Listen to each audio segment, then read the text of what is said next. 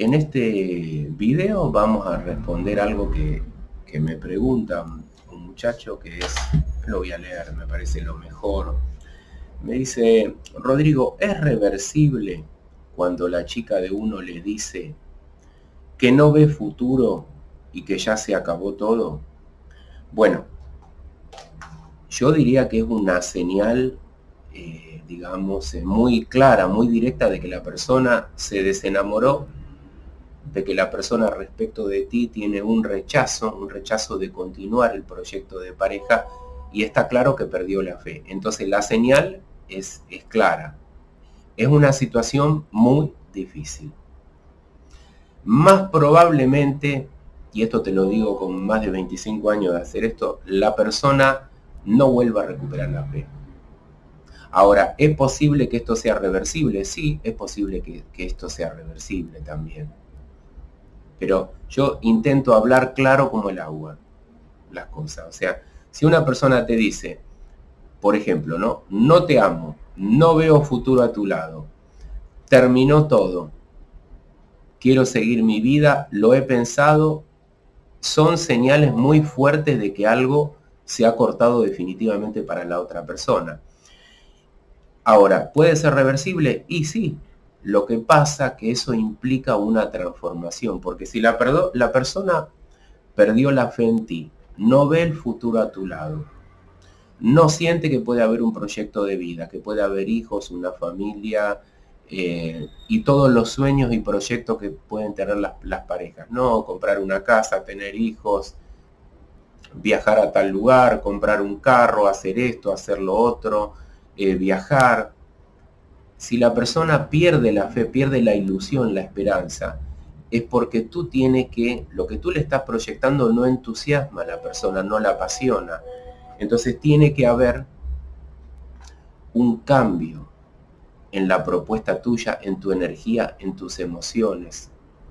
Suelen los hombres no darse cuenta de cómo transformar su propia vida. Perdón que está sonando a cada rato el, WhatsApp, a cada rato que suena suelen no darse cuenta los hombres de cómo transformar la relación en una relación bonita, agradable, con otra energía, y, de pronto la pareja, después de semanas y meses de una relación que no la entusiasma o no lo entusiasma, toma la decisión de hacer esto y ahí los hombres o las mujeres que están en esta situación se dan cuenta que están perdiendo el amor y que no han podido cambiar y que cómo, cómo han podido dejar pasar la oportunidad de hacer las cosas bien, entonces ahora las quiero hacer bien. Bueno, en muchos casos, por más que haga las cosas bien, ya la persona no vuelve.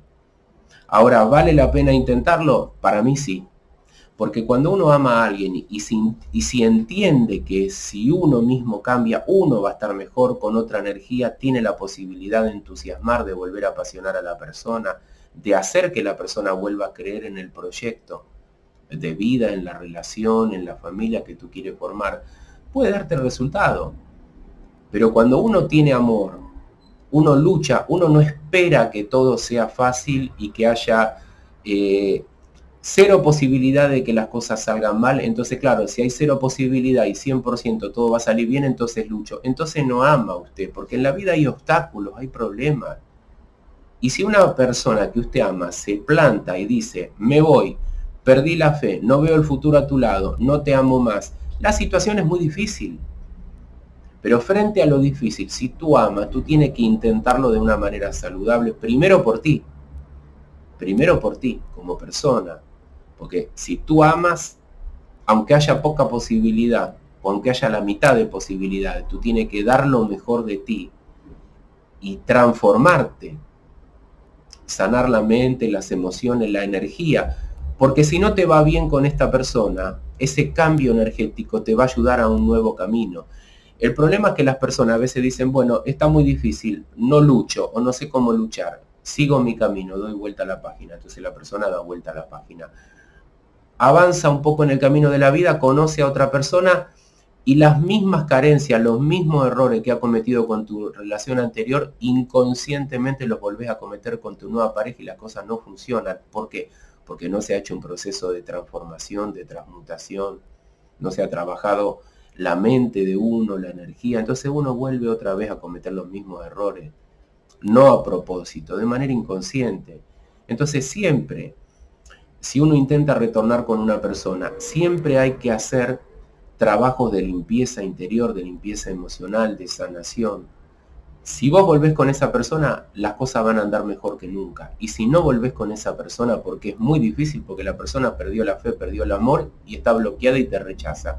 Si eso no se puede revertir, el cambio energético en ti te va a permitir abrir un nuevo camino donde vas a estar mejor que si no hubieras hecho nada, que si te hubieras cruzado de brazo todo este tiempo. Porque no hacer nada por uno mismo y estar desesperándose y anhelando y repitiéndose que uno ama y que la persona debería volver con uno, sin uno entender que tiene que hacer algo por uno mismo, eso no sirve. Eso no sirve. Los motivos son obvios, ¿no? Cada uno lo tendrá que, que pensar porque yo estoy diciendo esto. Entonces, en la circunstancia que tú estés en la vida, tú tienes que dar lo mejor de ti mismo. Eh, no hay 100% de seguridad en nada en la vida. Tú ahora cruzas la, calle, eh, pasa un carro rápido, te pisa, te mata y se terminó la vida en cinco minutos. Nadie tiene seguridad.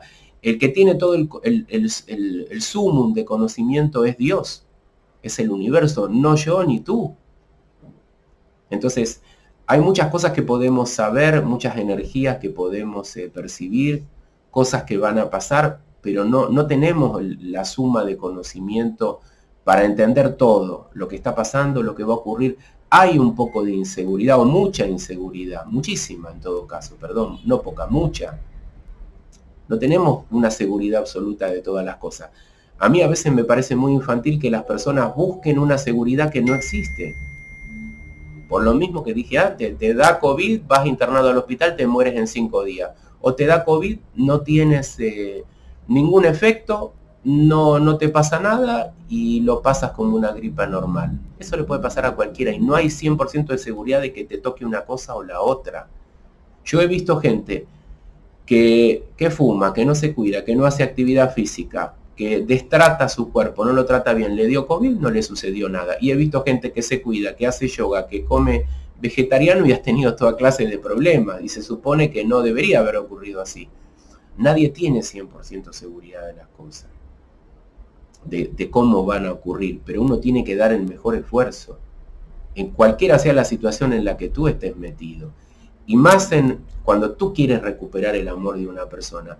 Si uno le dice, mire, hay 1% de posibilidad o es muy difícil, uno lo primero que dice es no, bueno, está bien, es una, es una, no, no lucho, Rodrigo, por esa persona, bueno, es una respuesta válida, pero yo me pregunto, ¿Cómo es posible que tan rápido de amar a alguien, cinco minutos después diga que no vas a luchar?